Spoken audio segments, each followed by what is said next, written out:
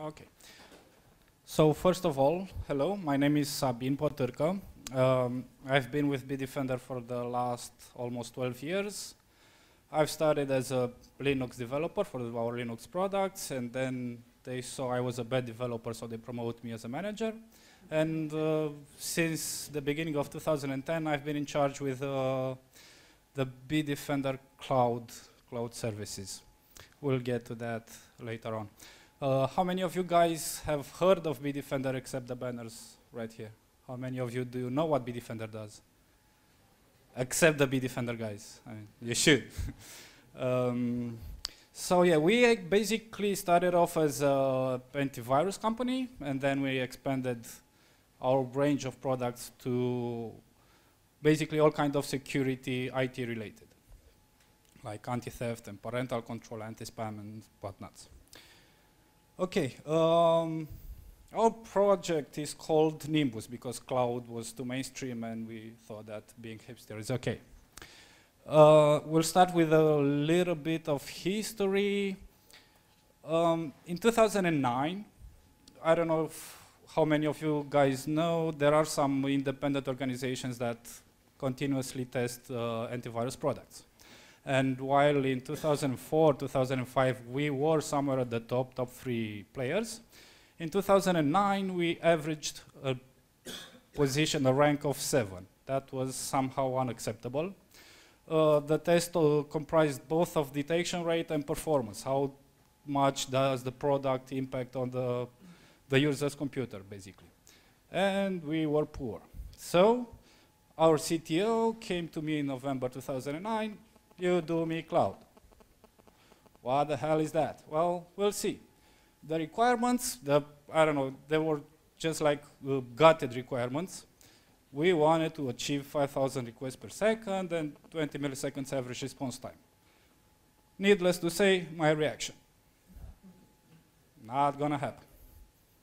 Well, it did. Uh, our first service, I, I, will explain later what actually the Bitdefender Cloud is. But uh, as a starting point, our first service was deployed somewhere March, April 2010. We reached about 100 requests, 1,000 requests per second, but that was due, our, due to our user base, not due to the limited capacity. Resolution time, we had to work more on that. The infrastructure was, you know, bare minimum, three servers and that's it. And the first reaction was that we took our internet router down because it had some DOS protection, whatnot, and because of too many connections from our customers, boom, we had no internet for one day. The whole company. Oh, I don't know. A bad one, obviously. but uh, I don't know if the router was bad, but or the configuration was.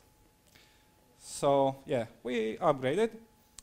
And this is our current status. We have in total of five data centers connected to each other via full mesh uh, VPN, virtual private network. Our main data center obviously is in HQ, but not actually in our uh, in our HQ. It's collocated to one of uh, the providers here in Bucharest as of now, we are averaging somewhere between 35 and 40,000 requests per second per day, usually. You will see later on that we have surpassed that limit as well. Um, we've met the requirement of 20 milliseconds response time per request. That's measured at entry point. I mean, it's not measured from the client side because you cannot control the internet connection of the client. So from our entry point, we have uh, an average of 5 milliseconds per request. That's pretty much cool in our, uh, in our opinion.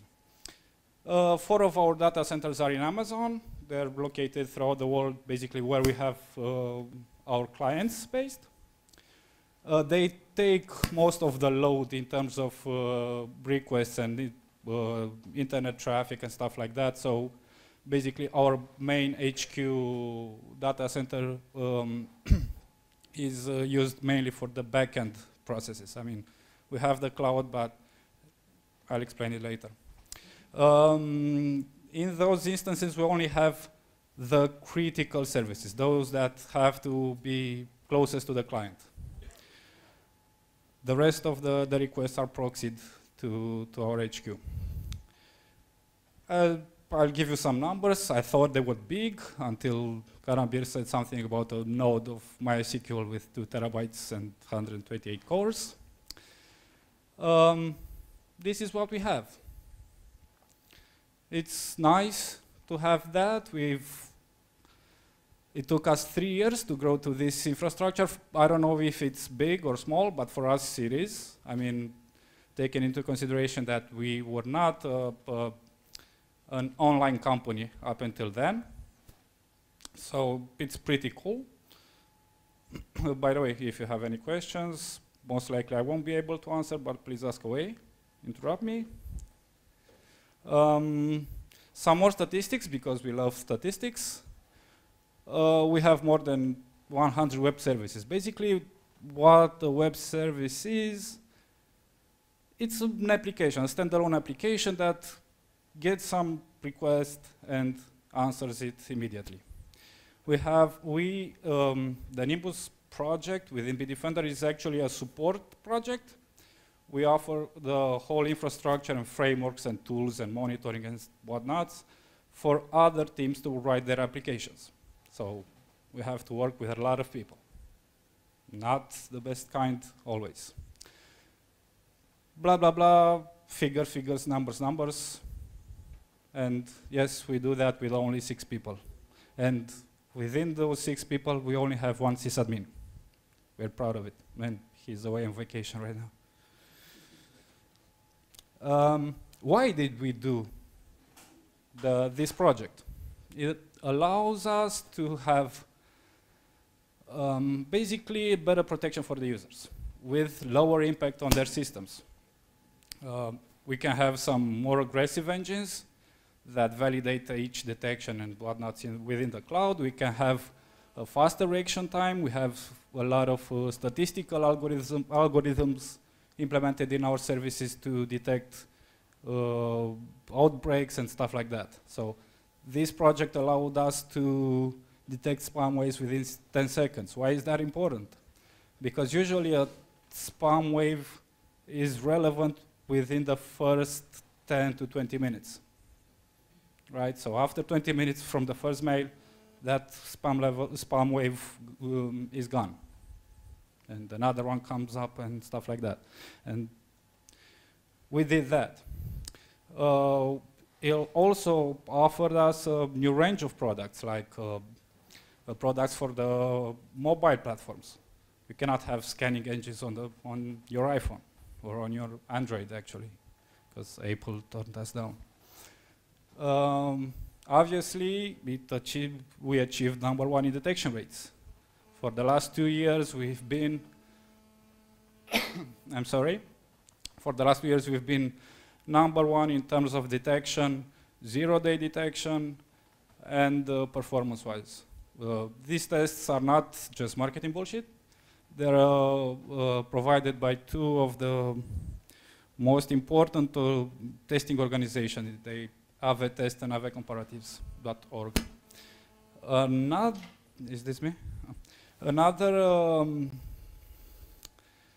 how should I put it, side effect of this uh, uh, of this project was the unification of our technologies. Uh, as I've told you before, we have some antivirus, we have some anti-spam, anti-phishing, anti-theft, anti-anti-anti. We're very negative about that. Uh, and up until then, up until the, the Nimbus project emerged, each laboratory was doing its stuff, not really communicating with the others.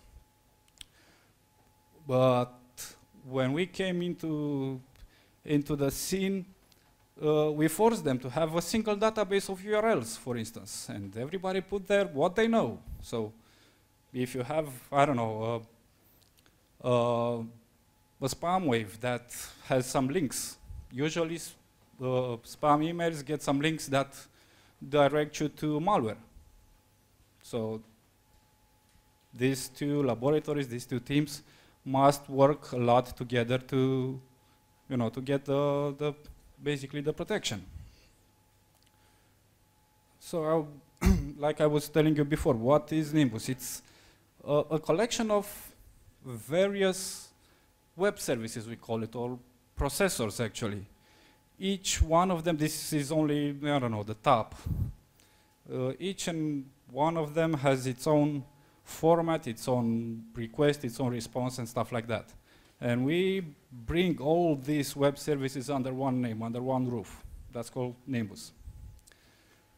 Um, short overview of our stack. What do we use to get these things running? Have you ever heard of MongoDB?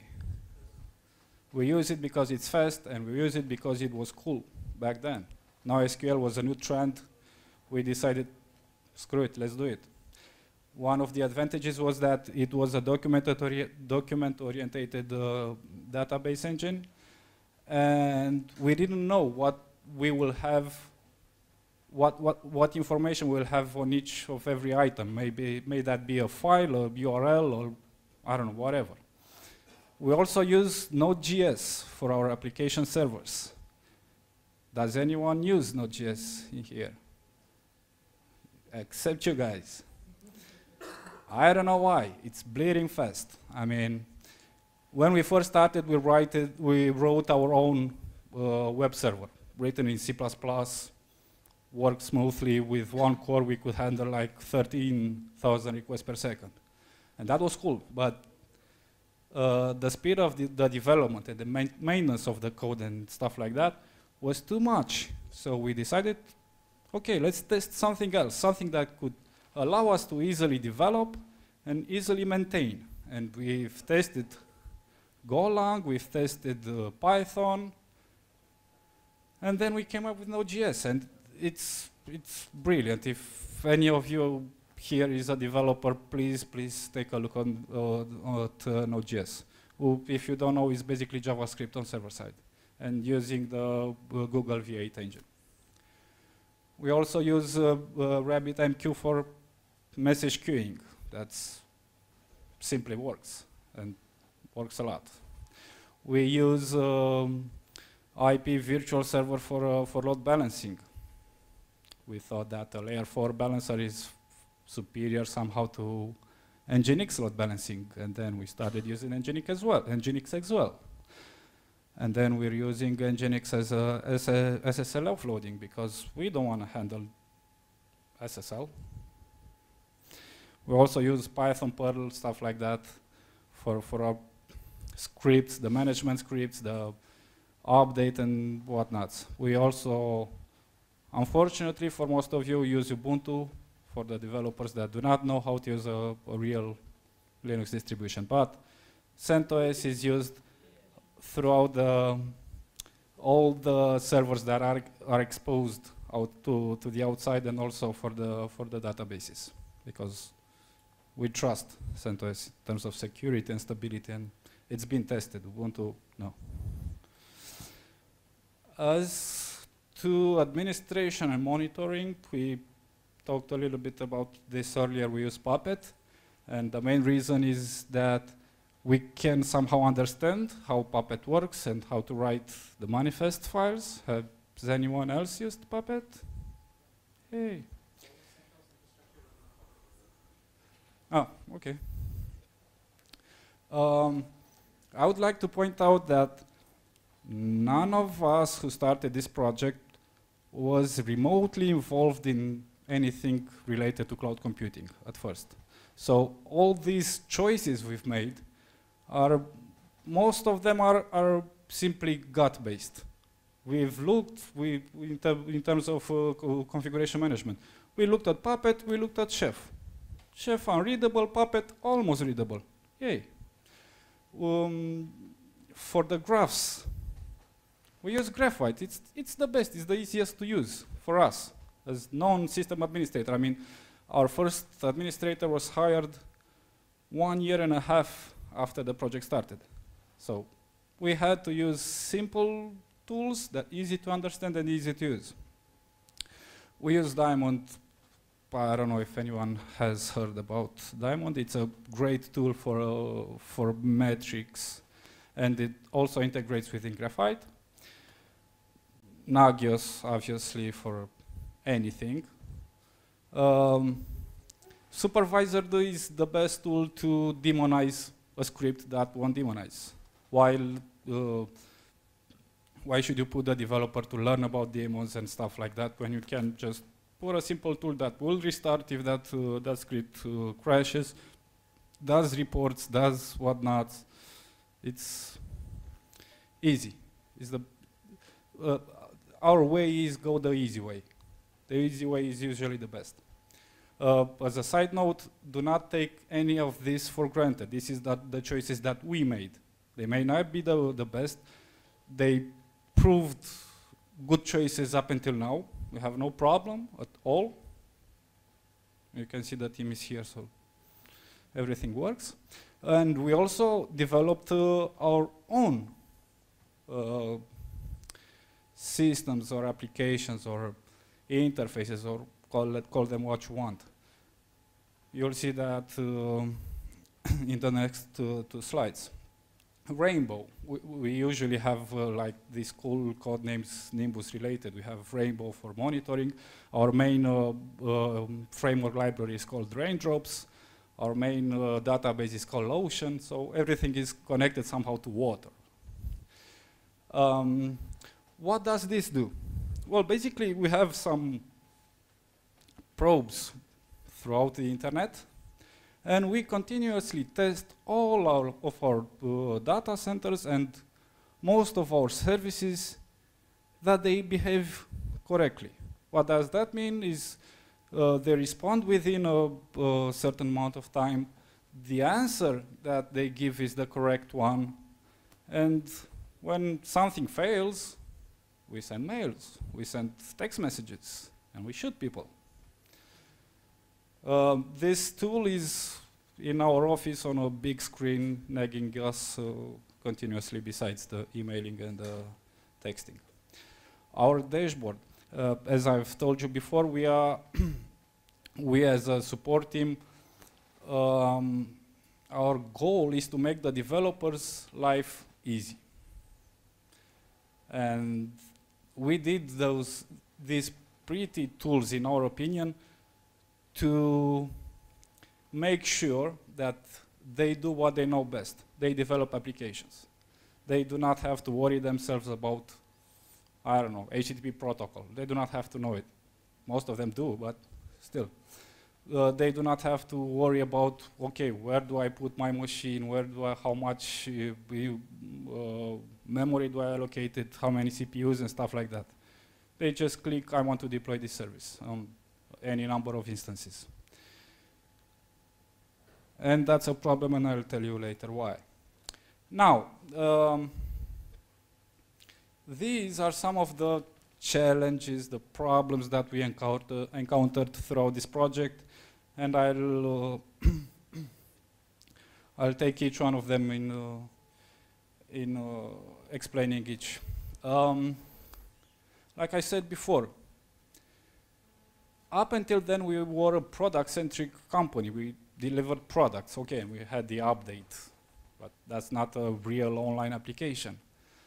And we had to educate the developers. We had to educate our managers, our upper management, our uh, acquisition uh, departments, and uh, our IT department to start buying some good routers, for instance, and uh, use established service providers, take out the internet from the, from the equation. I mean, you have, when you have a new application, you have to, you have to, how should I put it? Um, you have to take out from the equation the, the service provider. You have to know that Amazon works. Okay, they crash sometime, but usually they work. They are the biggest company.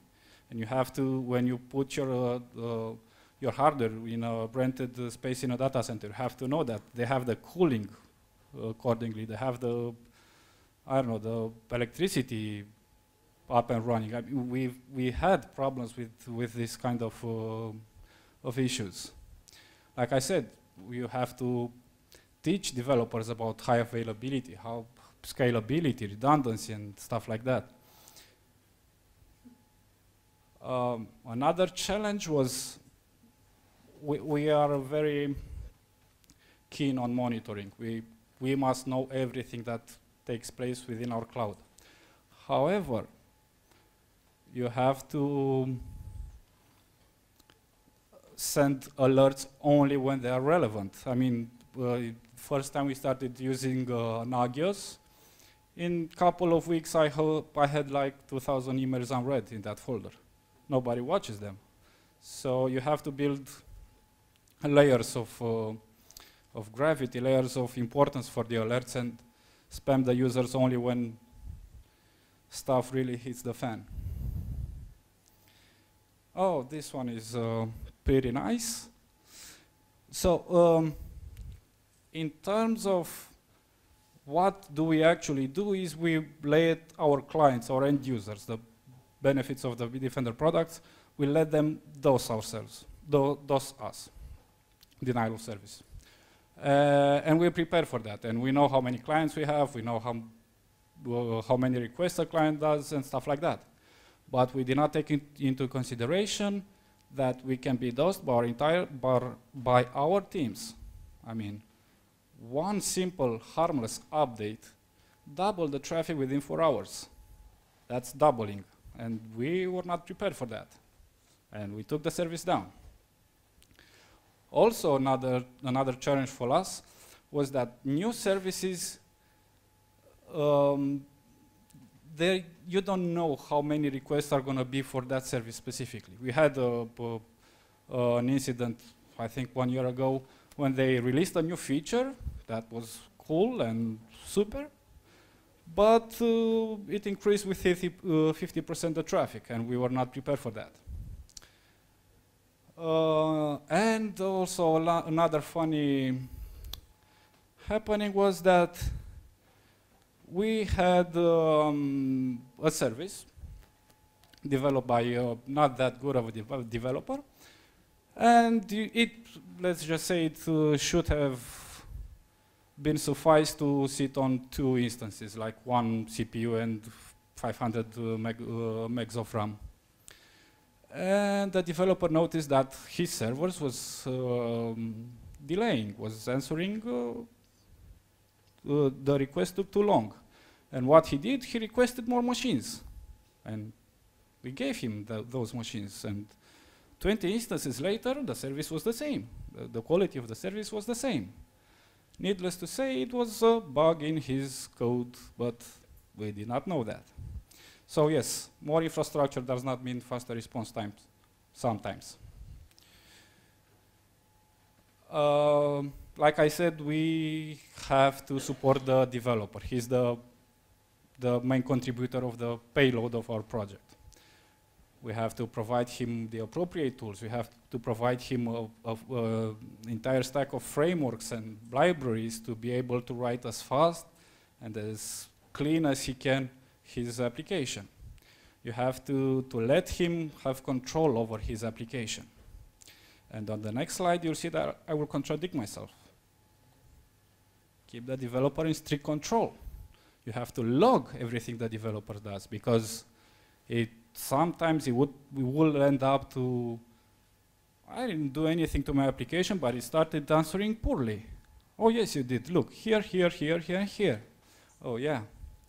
Uh, we review each new service and each substantial update, not to have uh, uh, other cases of uh, what I've talked about you earlier.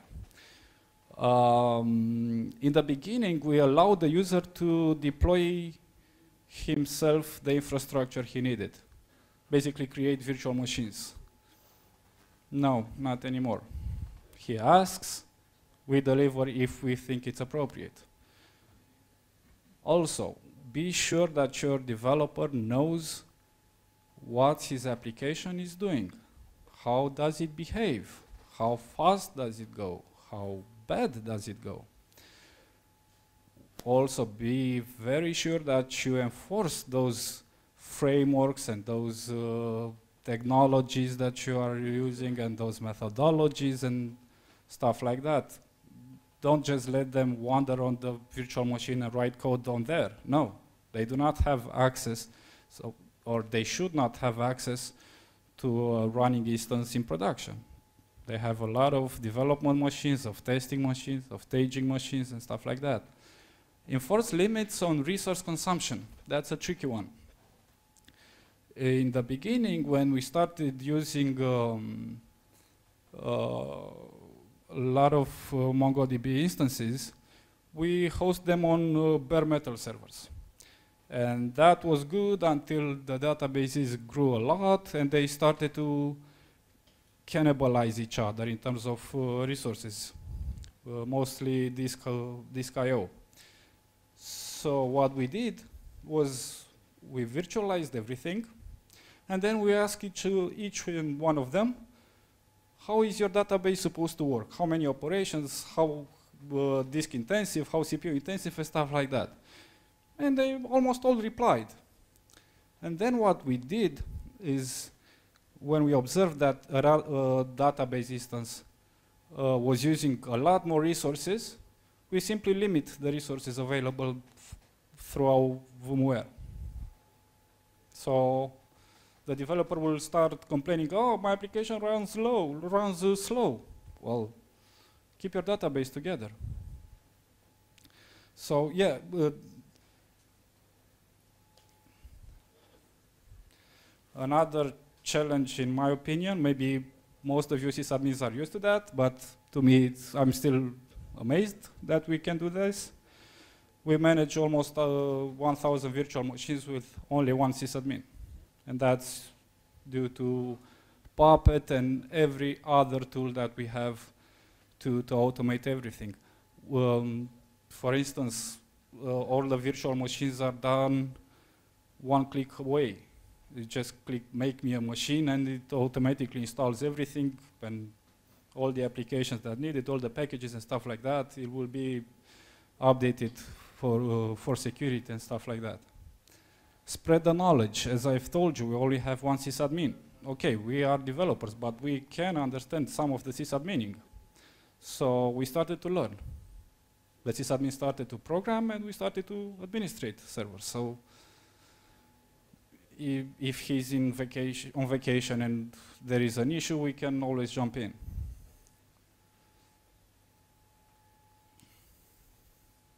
Obviously, because we are a Romanian company, we're very cheap. So we have to keep costs under control.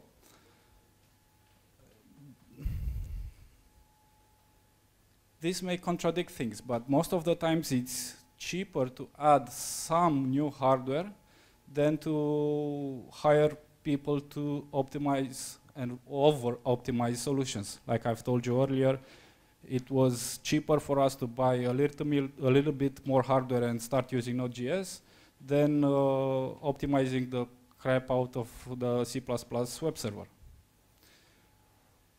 make sure that you use only what you need. Make sure that um, the information you store in the database, for instance, is only what you need. Uh, people tend to put everything there, all the garbage, even if it's useless. Don't let them do that. Another challenge was make the cloud movable. By movable, I mean in the beginning of this year, we, have, we had to migrate our entire HQ data center. And we had to do that with virtually zero downtime. And guess what we did? Because we're cool that way. Uh, basically, we made sure that everything is uh, can run completely independent except for the database instance and stuff like that. We also have redundancy. Um, have any of you ever heard of Chaos Monkey from, from Netflix? Okay. For those of you who haven't, Chaos Monkey is basically a script that randomly reboots servers into from the Netflix um, infrastructure. And stuff has to work. We tried to use uh, Chaos Monkey, but then we realized that our hardware failed so bad, we did not need another Chaos, Chaos Monkey. So taking this in mind, uh, within two weeks, we've we moved our entire infrastructure virtually with zero downtime.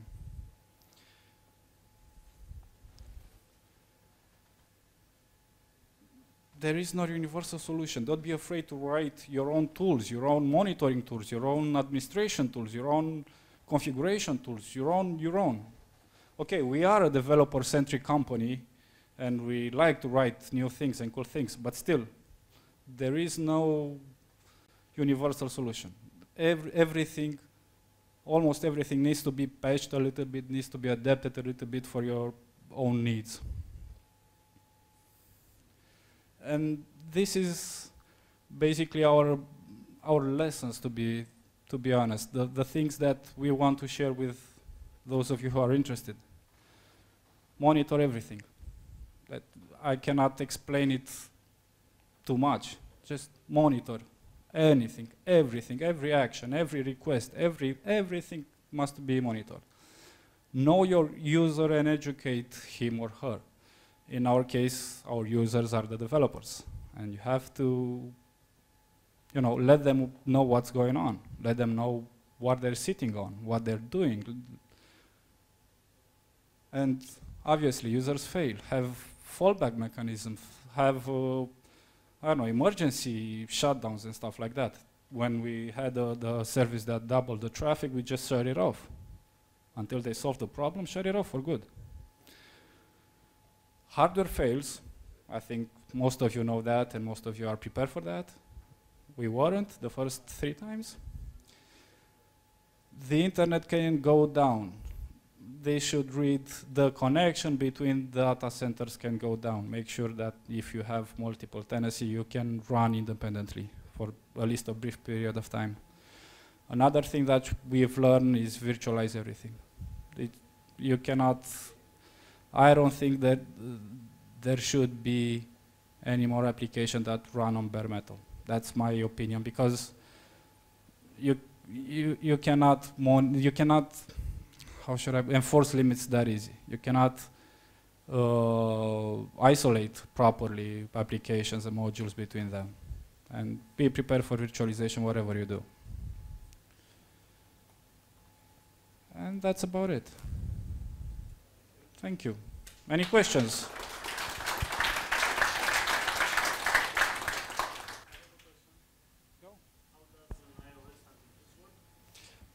Well, it wasn't actually an antivirus. It was, um, we call it Clueful. It gave you information about your, uh, the application that you have installed on your uh, iPhone. For instance, I don't know if you know about Path. It's, uh, we just, uh, okay, and? okay. Uh, we had Clueful on, on the App Store on the iOS, for the iOS, but um, Apple decided to take us down.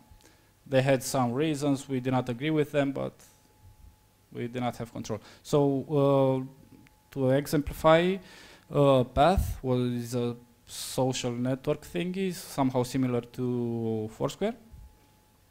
And one of its first releases, there was a big fuss on the internet that Path would take your contact list and submit it to their servers. And we detected that. So there was a somehow a security. I don't know. I mean, the AV lab knows, and probably they have to kill you if you find out, but really, I don't know.